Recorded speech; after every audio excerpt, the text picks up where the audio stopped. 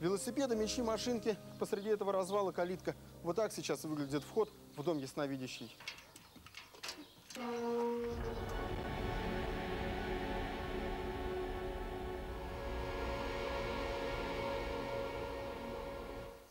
Киркорова одарили особым вниманием. Высокого гостя из Москвы взялся сопровождать лично мэр Петрича Велью Ильев. Имаме честа да сме в къщата на Леля Ванга, Имеем честь быть в доме Лили Ванги. Я буду как переводчик, да, българската пророчица, която е известна в цял свят. который известен в целом мире. За сожалению, 11 лет здесь после смерти Бабы Ванги никто не приходил сюда, никто не пускали сюда, все было закрыто. Весь капитал, нажитый на будущем, Ванга завещала народу, но родственники были против и обратились в суд. За 11 лет споров старый дом ее сутулился. Балкон провис, краска облупилась, окна обжили пауки. О, какие большие. О, фу, паяк, паяк, смотрите это. Паук.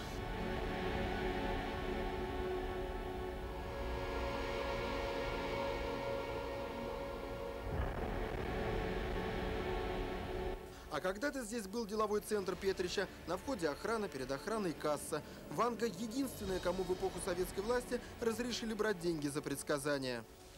Вот, возьмите билет и не теряйте его. Хочешь знать будущее? 10 левов, что-то около 20 долларов. Цена для соцлагеря. Приехал из кап страны, плати вдвойне.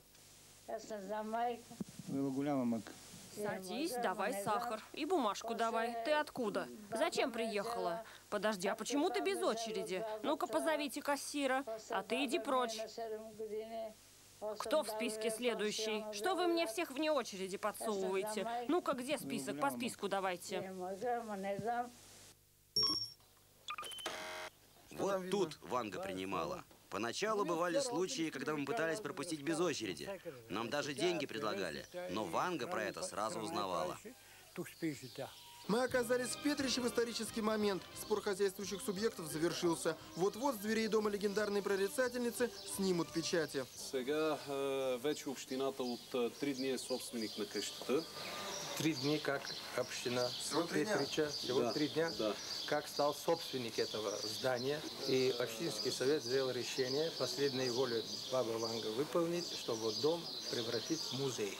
В музей уже превратили дачу Ванги, домик в селе Рупити. Это здесь Ванга на свои деньги построила церковь. И сюда в 94-м к ней приезжал Бедрос Киркоров. Вот я вошел так. Вот я, она сидела вот там. Я когда пришел, она подошла сюда. Она уже ходила так медленно. Задал предсказательнице вопрос о главном – как спасти умирающую от рака жену. Не волнуйся, твоя жена прыгнул. Вот это самое главное для меня, которое ошарашило, что значит все у нас удачно пошло. Прыгнула Прыгнула через гроб. Переступила через могилу, значит, выживет. Все мысли певца в тот момент были о жене. А Ванга вдруг и про сына вспомнила. Вы сами про Филиппа у нее не спрашивали. Нет, про Филиппа я не спрашивал. Но она иногда, знаете, не спрашивая, говорила о людей. Какой-то сон нелепый.